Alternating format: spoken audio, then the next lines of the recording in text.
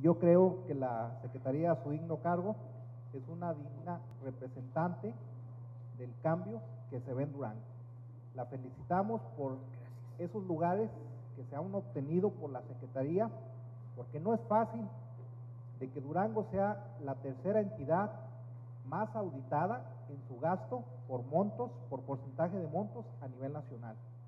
Y con las mínimas observaciones, revisamos las cuentas públicas de este gobierno, donde este Congreso las aprobó por unanimidad y estamos hablando que menos del 0.5% es observado. Lo demás es palabrería.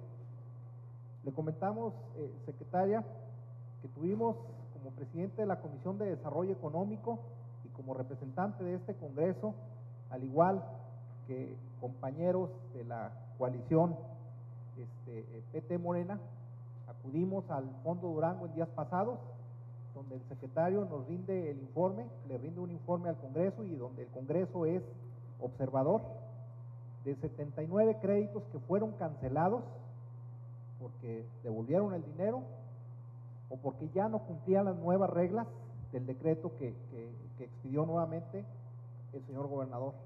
¿Y esto qué implica este Fondo Durango? Hay observaciones, claro que hay observaciones y que este Congreso así lo denunció. Pero no olvidemos que gracias a este fondo se preservaron más de 10 mil empleos, que uno, dos, tres casos, cuatro casos, no refleja la realidad del gobierno del Estado de Durango. Hay la disposición del diálogo respetuoso con todos los, eh, eh, con los otros poderes, donde se recompuso el camino para atender mejor a la ciudadanía. Comparecer propiamente a la licitación y precisamente en cada una de las entidades que realiza licitaciones, esta Secretaría de Contraloría tiene un compañero, compañera, órgano interno de control que se desempeña apoyando, orientando, asesorando, en algunos momentos haciendo revisiones, por supuesto, o auditorías a cada entidad.